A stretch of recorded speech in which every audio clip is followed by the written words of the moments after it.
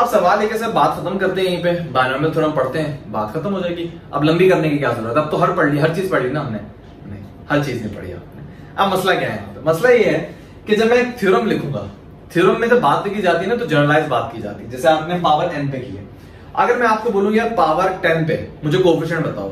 तो क्या कोई जनरलाइज फॉर्मूला है जिससे मैं कोफिशिएंट बताऊँ? भाई, अगर मुझे ए प्लस बी की होल पावर टेन का बना तो मैं यहाँ पे क्या लिखूं? तो जनरलाइज फॉर्मूला बताओ ना। जनरलाइज फॉर्मूला तो वही नहीं है। मुझे तो ट्राइंगल बनाना पड़ जाएगा। और ट्राइंगल की दस रॉ मुझे बनानी पड़ेगी। डायरेक्ट दसवीं रॉ भी नहीं आप बना सकते। ऊपर जब होगी तो दसवीं रॉ बनाओगे ना। नाइन्थ रॉ पता होनी चाहिए। नाइन्थ के लिए आपको एट्थ पता होनी चाहिए। एट के लिए सेवन्थ पता होनी चाहिए। तभी आप अगली निकालते हो। तो कहने का मतलब है कि कोफिशिएंट वैसे तो हमने देख लिया, अच्छी बात है। लेकिन अगर मुझे ए प्लस बी की पावर टेन के निकालने कोफिशिएंट तो मैं कैसे निकालूँगा भाई? मैं जनरलाइज तो बात ही नहीं कर पा रहा यहाँ पे। पास्कल ट्रायंगल से तो मेरा कुछ होगा ही नहीं फ़ायदा। तो अब इसका मतलब ये कि जनरलाइज आप इन कोफिशिएंट को कैसे लिखोगे? कि अगर आपने पावर टेन में जो कोफिशिएंट आ रहे हैं, वो लिखने हैं, या पावर ट्वेंटी में कोफिशिएंट आ रहे हैं, इक्कीस टर्म है। अब इक्कीस कोफिशिएंट कैसे लिखोगे यहाँ पे? जनरलाइज तो आप लिख नहीं सकते, आपको इतना लंबा ट्राइंगल बना के करना पड़ेगा। अब ये मसला आ गया। अब इस मसले का हल भी हमें निकालना है। अब इस मसले का हल क्या है? और यहाँ पे कम्बिनेशन आएगी। अब आप लोग बोलोगे, सर कम्बिनेशन का क्या काम है यहाँ पे?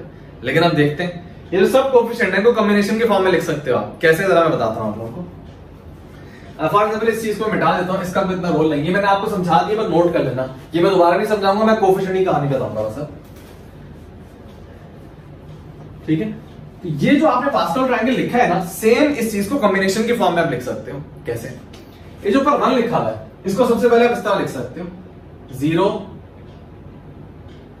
या इसको मैं दूसरी फॉर्म में सी की फॉर्म में लिखवाता हूँ। वैसे तो ब्रैकेट वाली फॉर्म होती है सर देते हैं। ज़ीरो सी ज़ीरो अब ये बहुत ही आइडियल केस है। आपके पास ज़ीरो चीज़ें ज़ीरो आपने पिक करनी है तो कितने तरीके से पिक करोगे? एक ही तरीका है कि आप ज़ीरो पिक करो। तो भाई जनरलाइज केस है। ज़ीरो सी ज़ीरो आप कंसीडर नहीं करते, मैं हमें कैलकुलेटर आंसर भी नहीं देगा आपको, मैं जरा करके दिखा देता हूँ। क्योंकि जो आइडियल केस होते हैं ना कैलकुलेटर शायद उनके आंसर नहीं देता। बाकी करके देख लेते हैं। क्योंकि कॉम्बिनेशन में आप ये कहते हो कि एन जो है वो नेचुरल तो होना ज़ीरो की सेंस नहीं बनती कोई। तो कैलकुलेटर आंसर दे रहा है। कैलकुलेटर तो चलो आंसर दे रहा है वन आंसर आ रहा है। तो ये तो खैर वैसे भी आप समझ सकते हो। अब इस वन को आप कैसे लिखोगे? मैं जरा लिखता हूँ। इस वन को मैं लिखूँगा वन सी ज़ीरो और जो दूसरा वाला वन है, उसको मैं लिखूँगा वन सी वन अब जरा पैटर्न देखना एग्जैक्टली आंसर आ होंगे. आप थर्ड रॉ पे आ जाओ. थर्ड रॉ पे लिखोगे two C zero two C one two C two fourth पे आ जाओ. Three C zero three C one three C two three C three fourth का लिख देते फिफ्थ रॉ का आ जाते हैं. Four C zero four C one four C two four C three four C four आप इन सबके आंसर निकालो मैच कर रहे हैं। फॉर एग्ज़ाम्पल ये पांचवी रॉ है ना? पांचवी रॉ कौन सी है इसमें से? एक, दो, तीन, चार, ये पांचवी रॉ है। फोर सी ज़ीरो का आंसर वन होता है। जब भी नीचे ज़ीरो लिखा हुआ आंसर वन होता है तो सबका आंसर वन होगा। इसी तरह, जब ऊपर और नीचे वाला नंबर सेम होता है तो कॉम्बिनेशन का आंसर वन होता है। तो one one two two three three four का सबका आंसर वन होगा। तो one one one one one one ये तो बात सेटिस्फाई हो रही है।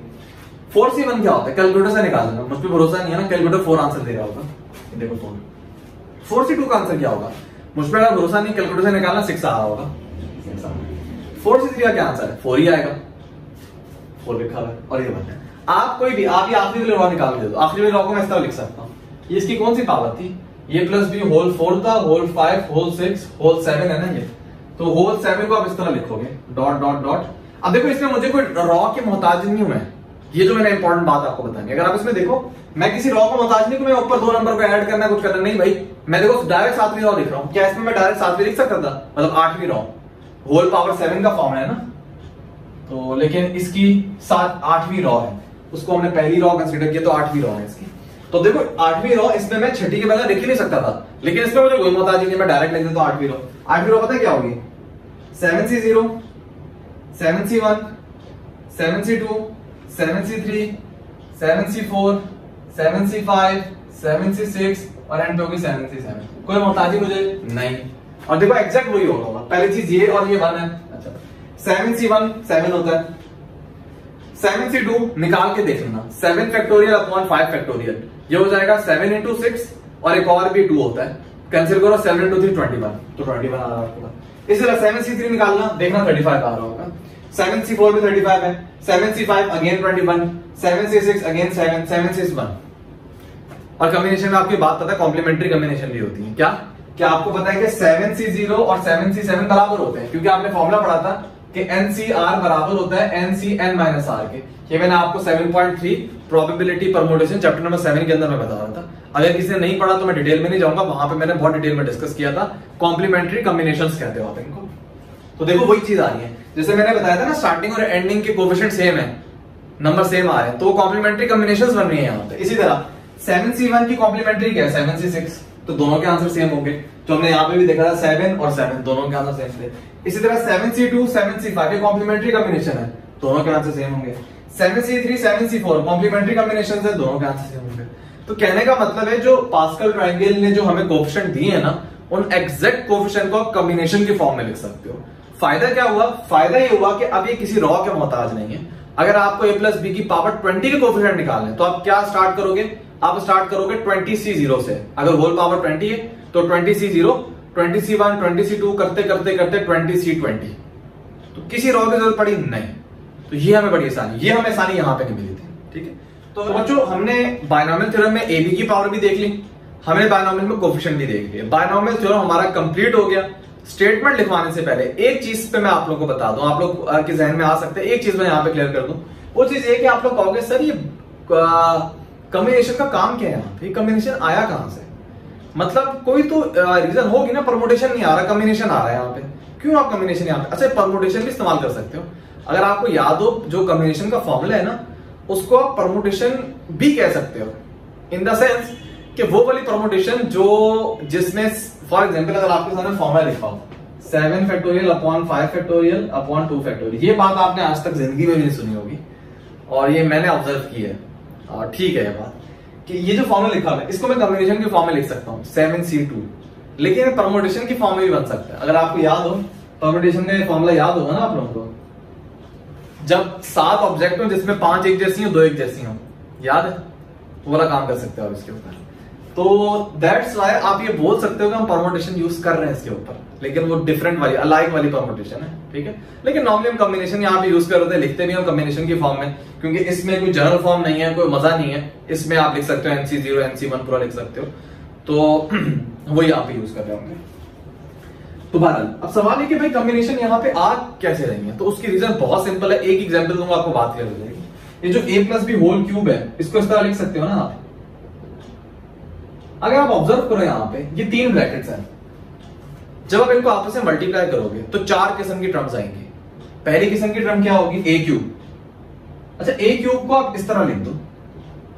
ए मल्टीप्लाई ए मल्टीप्लाई ए बात तो कि ए क्यूब बोलोगे आप तो एक किस्म की ट्रम तो ये होगी। दूसरी किस्म की ट्रम क्या होगी? A square B A square B कैसे लिख सकते हो? ए ए बी तीसरी किस्म की ट्रम क्या होगी?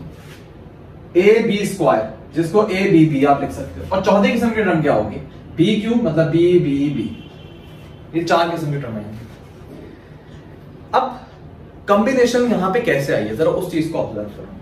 देखो कॉम्बिनेशन में आप करते क्या थे? अच्छा मैं भी बी के रेफरेंस से बात कर रहा हूँ, क्योंकि जो आपने फॉर्मुला लिखा हुआ है ना, अगर मैं इसको उल्टा भी कर दू, ये सेम रहेगा। फॉर एग्ज़ाम्पल ये two C zero two C one two C two है, मैं इस तरह लिख सकता हूँ। Two C two two C one two C zero same ही आंसर आ रहे हैं भाई। कोई फ़र्क नहीं पड़ेगा, क्योंकि वही बात है ना कॉम्प्लीमेंट्री कॉम्बिनेशन स्टार्टिंग एंडिंग के सेम है। आप रिप्लेस कर सकते हो। भाई इस फोर को से रिप्लेस कर दो, कोई फ़र्क पड़ेगा इसको? इस फाइव को उठा के यहाँ पे लिख दो, इस फाइव को यहाँ पे लिख दो, कोई फ़र्क पड़ रहा है? नहीं। तो आप इस तरह भी स्टार्ट कर सकते हो। Three C three three C two three C one three C zero same answer आ रहे होंगे, चक्कर के देख लेना। तो अभी जो आपने पहले मैंने लिखे हुए थे ना वन से ज़ीरो इस फॉर्म में लिखे हुए थे, क्योंकि बुक में भी इसी फॉर्म में तो इसी फॉर्म में मैं आप लोगों को लिखवा रहा हूँ। तो इस फॉर्म में लाने के लिए ना, अभी जो मैं बात बताने लगा हूँ, इसमें मैं बी के रेफरेंस से आपको बात बता रहा हूँ। तो ये चीज़ आपके पास आएगी। अगर ए के रेफरेंस से बात करोगे तो ये चीज़ आएगी। Three C three three C two three C one और थ्री सी ज़ीरो अगर ए के रेफरेंस से बात करूँगा। लेकिन अगर मैं बी के रेफरेंस से बात करूँ तो एक्जैक्ट यही चीज़ आ रही होगी जो मैं आप लोगों को समझाना चाह रहा हूँ। अगर आप इन तीनों टर्म में देखो तो बस आप एक चीज़ यहाँ पे कॉम्बिनेशन का केस आया कैसे? आप यहाँ पे ये देख सकते हो कि बी यहाँ पे नज़र आ रहा है, आपको बी नज़र नहीं आ रहा है। तो आप इसको क्या कह सकते हो? आप ही कह सकते हो कि यार आपके पास तीन बी हैं। उसमें से आपने कितने चूज़ करने हैं? कोई भी चूज़ नहीं करना। तो टोटल तीन बी है ना? अच्छा ये मल्टीप्लाई करके आता कैसे? मैं आपको जरा आज बताता हूँ। तीन चीज़ों को अगर आपने मल्टीप्लाई करना है तो मल्टीप्लाई किस तरह होती है? फॉर एग्ज़ाम्पल ए को ए से करो फिर ए से करो। तो याद देना फिर ए को ए से करो और बी से करो। तो ये हो जाएगा ए ए बी ये चीज़ आ जाएगी फिर ए को बी से करो और ए से करो। ये हो जाएगा ए बी ए फिर ए को बी से करो फिर इसको बी से करो। ये हो जाएगा ए बी बी जो यहाँ पर ऑलरेडी लिखा है। फिर अब बी पे आ जाओ। बी को पहले ए से करो फिर ए से करो ये हो जाएगा बी ए ए बी को ए से करो फिर बी से करो ये हो जाएगा बी ए बी फिर बी को बी से करो और ए से करो ये हो जाएगा बी बी ए बी को बी से करो बी से करो करते करते बी बी बी जो आपके सामने लिखा है। तो ये आपके पास टोटल आठ टर्म आती हैं। आ, लेकिन ये तीन एक जैसी ये तीन एक जैसी हैं। तभी टोटल चार टर्म होती हैं क्योंकि ये तीन एक ही है ना। दो ए बी है एक ही मानी जाएँगी। लेकिन कॉम्बिनेशन तीन है कैसे मुझे पता चला? सबसे पहले इसकी बात करते हैं। इसमें कोई बी नज़र आ रहा है आपको? नहीं। तो आप क्या कह सकते हो कि यार आपके पास तीन बी है। उसमें से कितने सेलेक्ट करने ज़ीरो सेलेक्ट करने तो थ्री सी ज़ीरो क्या होता है? वन के बराबर। दैट्स वाई इसके साथ वन आ रहा होता है। कोफिशिएंट तो आप कहते हो ना कॉम्बिनेशन यहाँ से क्या आ रही है? तो कॉम्बिनेशन यहाँ इस तरह आ रही है। इसी तरह। इसमें कितने बी हैं? इसमें एक बी है। टोटल कितने बी हैं? टोटल तीन बी हैं। उसमें से आपको एक सेलेक्ट करना है। ये इसमें आपको एक कॉम्बिनेशन में एक बी नज़र आ रहा है ना। तो टोटल तीन बी है। तीन बी में से एक सेलेक्ट करना है तो ये क्या हो जाएगा? Three C one three C one क्या होता है? थ्री के बराबर। दैट्स वाई आपको थ्री नज़र आ रहा है। यहाँ पे तीन कॉम्बिनेशन नज़र आ रही है, जिसमें, यार, ज़ाहिर सी बात है ना, कि पहली वाली कॉम्बिनेशन में ये वाला भी उठाया हुआ है, दूसरी कॉम्बिनेशन में ये वाला भी उठाया हुआ है, तीसरी कॉम्बिनेशन में ये वाला भी उठाया हुआ है। अब मुझे ये नहीं बोलना कि सर कॉम्बिनेशन तो ये एक ही है, क्यों कॉम्बिनेशन ये होता है कि आपने क्या सिलेक्शन किया? सब में दो ए है और एक बी है तो ये एक ही कॉम्बिनेशन माननी चाहिए तो ऐसा नहीं होता। मैंने आप लोगों को पहले भी बताया था काउंटिंग और कॉम्बिनेशन में डिफरेंस आपको नज़र आता है एक चीज़ का। वो डिफरेंस क्या होता है कि फॉर एग्ज़ाम्पल मैंने चैप्टर नंबर सेवन में भी दी थी बात कि अगर आपके पास बारह अंडे हैं अंडे सब सेम है कंसीडर करो सब सेम अंडे तो बारह अंडों में से कोई एक आपने उठाना है तो उनको उठाने के कितने तरीके होंगे? अगर आप बोलते हो सर कॉम्बिनेशन में आ, ये सब इनको सेम कॉम्बिनेशन मान रहे हो तो फिर होगा पता क्या? जो बारह अंडे है ना उसमें से आप कोई भी एक उठा लो आप कहोगे उठाने का एक ही तरीका है। फॉर एग्ज़ाम्पल बारह अंडे में से कोई आपने एक अंडा उठाया? और देखा, बोला कि एक कॉम्बिनेशन है। फिर जो आप नेक्स्ट अंडा उठाओगे ना, वो भी तो वही कॉम्बिनेशन है। सेम ही तो अंडा है वो। तो आप उसको अलग तो नहीं बोल पाओगे। फिर फॉर एग्ज़ाम्पल आपको चौथा अंडा उठा रहे हो, वो आप देखोगे, वो भी तो सेम ही है। तो वो तो एक ही कॉम्बिनेशन मानी जाएगी। बार बार आप एक ही चीज़ उठा रहे हो। तो आप क्या बोलोगे? बारह में से एक उठाने का एक ही तरीका है क्या? नहीं। तो हम उसकी इंटरप्रिटेशन कैसे करते हैं? हम ये कहते हैं कि यार, चीज़ें तो वो सेम ही है। वैसे आप कॉम्बिनेशन के फॉर्मुले में देखते हो ना कि एंड डिफरेंट होना चाहिए। लेकिन अगर वो चीज़ें सेम हो, लेकिन काउंटिंग की अगर आप बात करो ना तो वो बारह तरीके ही हैं। उनको हम किस तरह एक्सप्लेन करते हैं इस तरह एक्सप्लेन करते हैं कि यार आपने पहली पोजीशन से अंडा उठाया, ये कॉम्बिनेशन है। आपने पांचवी पोजीशन से अंडा उठाया, ये दूसरी कॉम्बिनेशन है। आपने बारहवीं पोजीशन से अंडा उठाया, ये तीसरी पोजीशन है। है वो अंडे सेम ही, चीज़ तो सेम ही आ रही है हर दफ़ा। हर कॉम्बिनेशन में सेम ही अंडा आ रहा है आपके पास, क्योंकि अंडे सारे सेम है। लेकिन काउंटिंग तो डिफरेंट है ना यार। अब ये बात डिफरेंट है ना कि पहली पोजीशन से आप अंडा उठाओ, और ये बात डिफरेंट है कि आप बारहवीं पोजीशन से अंडा उठाओ। समझ आ रही बात? आ रही होगी। तो ये आप करते हो। इसी तरह यहाँ पे अगर आप देखो तो ये चीज़ें आपस में डिफरेंट है। अगर आप कॉम्बिनेशन उस सेंस में देखोगे, यार, इन तीनों में तो दो ए और एक बी है, ये एक कॉम्बिनेशन है तो वो वाला कॉन्सेप्ट यहाँ पे नहीं लगाना काउंटिंग में वो वाला नहीं लग रहा होता यहाँ पे काउंटिंग चल रही है। काउंटिंग में आप ये देखो कि पहली कॉम्बिनेशन में आपने ये वाला बी उठाया पोजिशन मैटर कर रही है। ये पहली पोजिशन है, ये दूसरी है, तीसरी है। तो तीसरी पोजीशन से उठाया आपने। इसमें आपने दूसरी कॉम्बिनेशन में दूसरी पोजीशन से बी उठाया इसमें आपने तीसरी पोजीशन से उठाया। मतलब पहली पोजीशन से उठाया, तीसरी कॉम्बिनेशन में। तो दैट्स वाई यहाँ पे अलग कंसीडर किए जाएँगे, ठीक है? इसी तरह, अगर आप इस कॉम्बिनेशन में देखो, दो बी हैं। टोटल कितने बी हैं? तीन बी हैं। तो तीन में से दो बी उठाने के कितने तरीके हैं? Three C two three C two ये इस तरीके से कॉम्बिनेशन इन्वॉल्व होगी। इसी तरह, तीन बी हैं, आखिरी में कितने आपको चाहिए? तीन ही बी चाहिए। तो तीन में से तीन उठाने के कितने तरीके होते हैं? ठीक है? तो यहाँ से कॉम्बिनेशन आ रही हो, जैसे इसमें अगर आप देखो तो इस अगर पहली कॉम्बिनेशन में देखो, इसमें आपने ये दो बी उठाए कहने का मतलब इस ए को आप बी से मल्टीप्लाई करो, इससे मल्टीप्लाई करो ए बी बी आ जाएगा। दूसरी कॉम्बिनेशन में बी और बी पहली और तीसरी से उठाया। मतलब इस बी को ए से मल्टीप्लाई करो, इसको बी से मल्टीप्लाई करो आ जाएगी। और तीसरे में आपने शुरू के दो बी उठाए मतलब बी बी और ए जब तीन ब्रैकेट को मल्टीप्लाई करते हो ना तो इस तरीके से मल्टीप्लाई करते हो।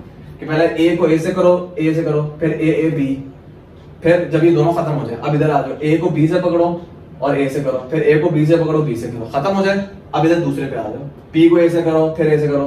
फिर बी को ए से करो बी से करो। इस तरह आप कर रहे होते हो।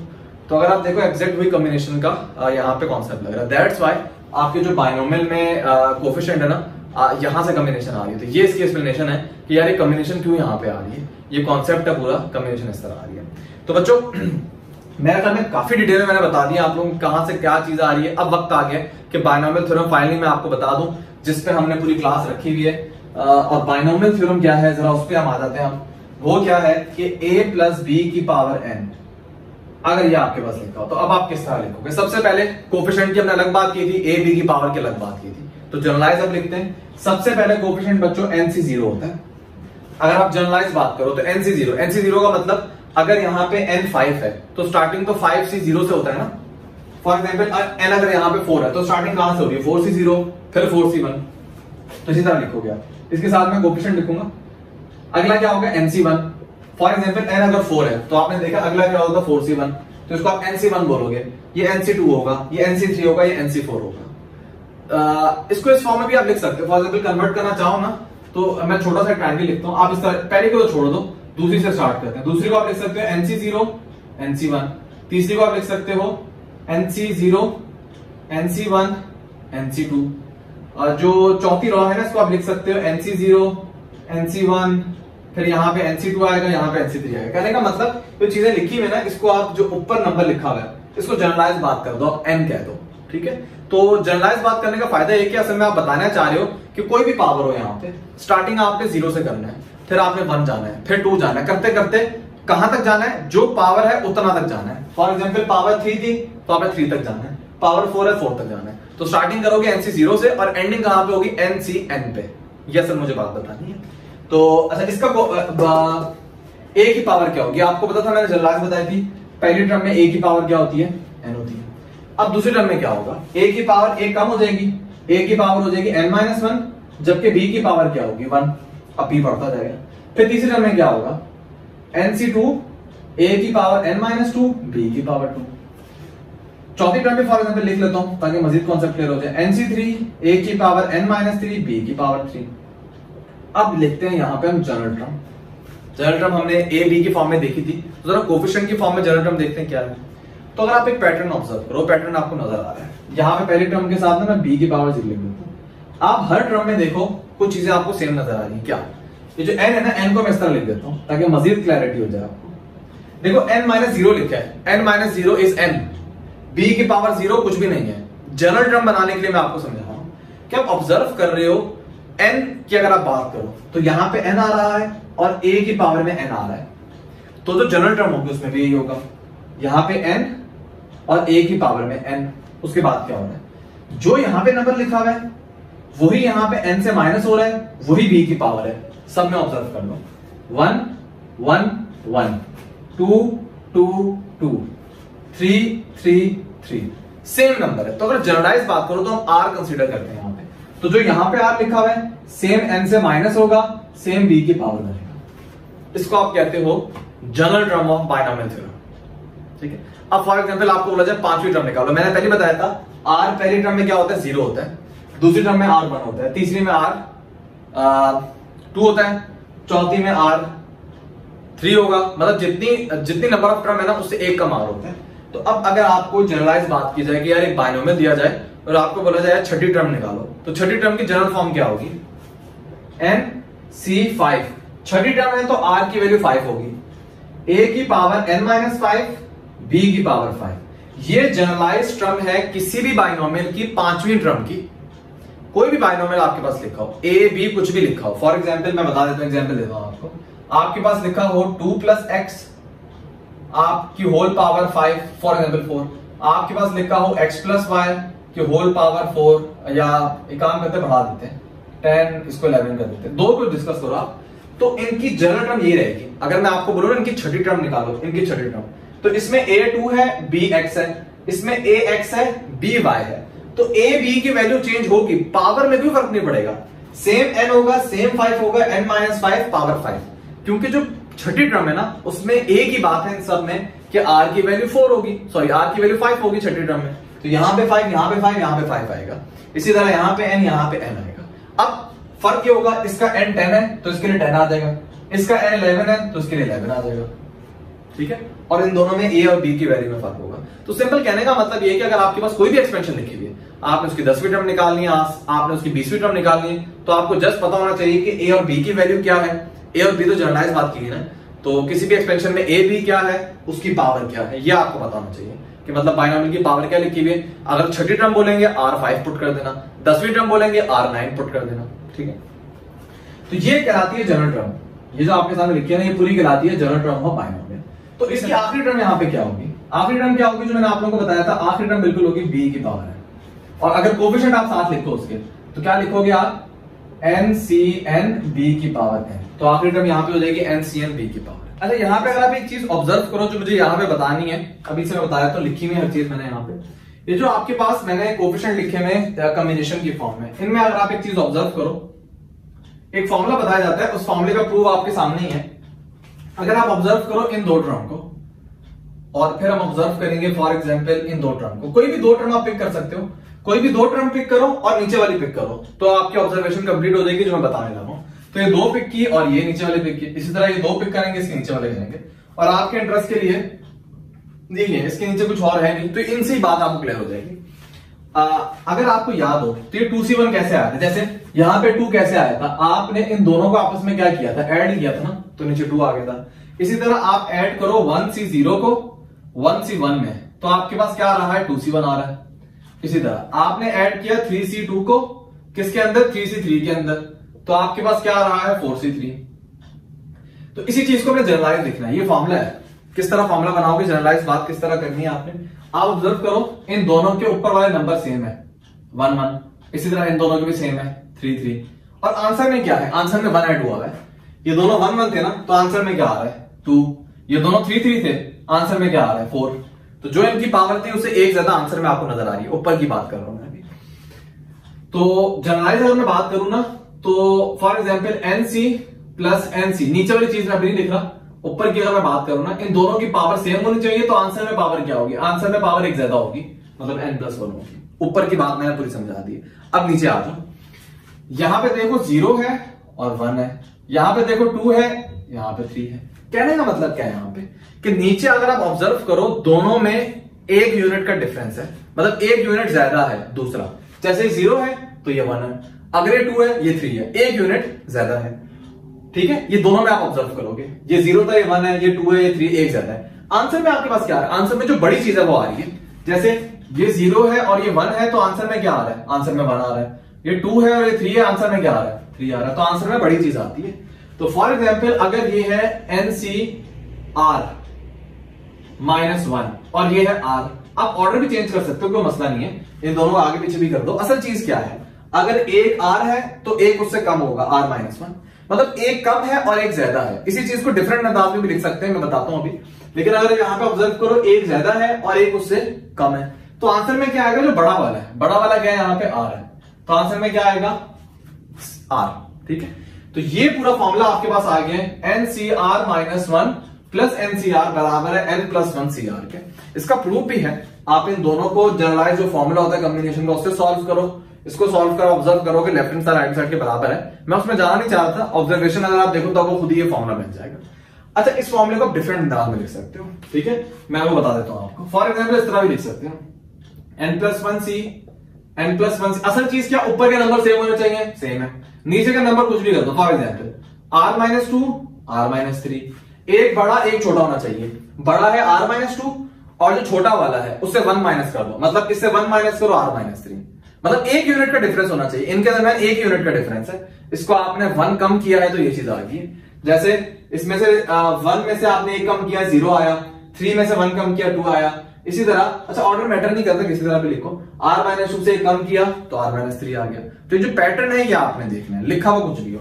तो जब आप इनको ऐड करोगे तो होगा क्या? पावर जो सेम है, इसमें वन ऐड करो मतलब एन प्लस टू हो जाएगा।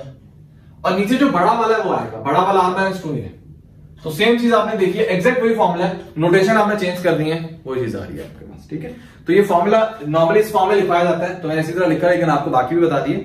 और ये एमसीक्यू भी बनते हैं, बहुत मशहूर। ऐसी यूनिवर्सिटी में जिसमें कैलकुलेटर अलाउ नहीं है ना, उसमें मैनुअली करना बड़ा मुश्किल हो जाता है। फॉर एग्ज़ाम्पल अगर मैं आपको बोलूँ, आप निकालो ten C five plus ten C four अभी कैलकुलेटर के बगैर निकालना मुश्किल चीज़ है यार एक अब आसानी से नहीं निकाल सकते।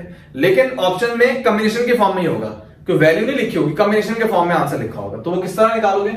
वही कॉन्सेप्ट सेम है ऊपर तो आंसर में वन ऐड कर दो। ये फाइव ये फोर तो बड़ा जो है वो आ जाएगा इलेवन सी फाइव तो जो इनके एडिशन का आंसर है, वो इसका आंसर होगा। तो बस आगे से निकाल पाओगे। ठीक है? तो ये बात आपने ऑब्ज़र्व कर ली। ये जो बायोमिल थ्योरम मैंने आप लोगों को पूरा बताया है, इसमें जनरल टर्म में डिस्कस किए इस जनरल टर्म की लेफ़्ट हैंड साइड क्या होती है? जनरल टर्म को आप इस तरह लिखते हो।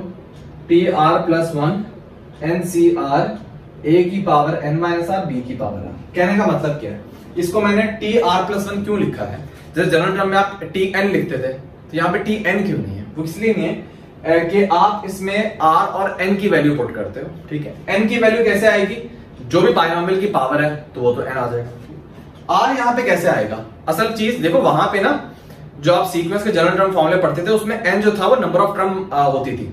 यहाँ पे सेम रोल आर बता रहा है आपको। मतलब आर की वैल्यू बता रही है आपको कि नंबर ऑफ़ टर्म कौन से निकालनी है। फॉर एग्ज़ाम्पल अगर आपको बोला जाए आर पांचवी टर्म निकालो तो आर की वैल्यू क्या रखोगे?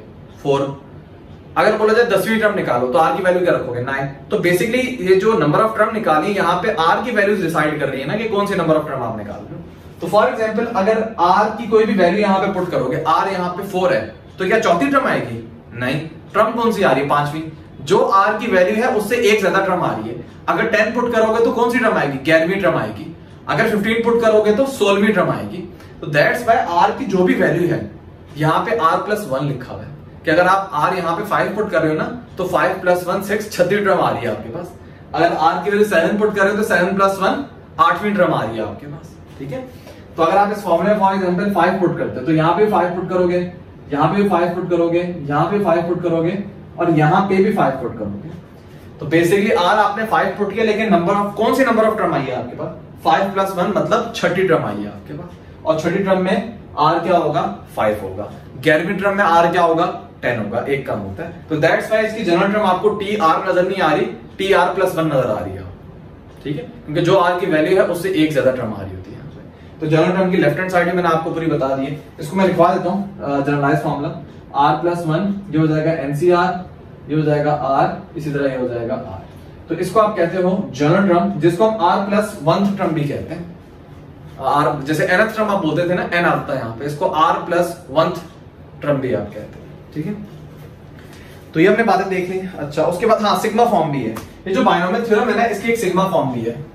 कि समीशन फॉर्म में भी आप इसको लिख सकते हो। समीशन फॉर्म में आप चीज़ों को कैसे लिखते हो? जनरल टर्म आपको पता होनी चाहिए। तो बायोनोमियल की जनरल टर्म आपको पता है तो सिग्मा फॉर्म में आसानी से लिख देंगे। तो सिग्मा फॉर्म क्या है इस बायोनोमियल की? मतलब ए प्लस बी की पावर एन की सिग्मा फॉर्म क्या होती है? आप स्टार्ट कहाँ से करते हो?